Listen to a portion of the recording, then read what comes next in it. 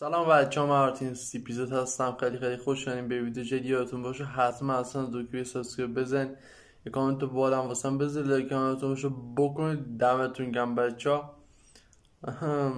بریم که بهتون یاد بدم چجوری داخل فریفایر پینگ رو بیارید پایین البته بچه به طور کلی خب فریفایر فیلتر نیست. همونجوری که همتون می‌دونید.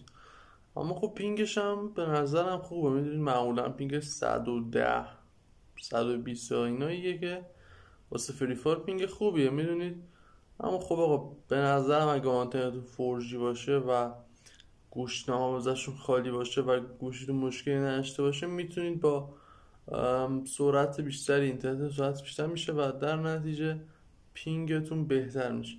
دمتون گم که تا آخر تماشا کنید دکمه سابسکرایب بزنید. خدا نگهدار بچه‌ها.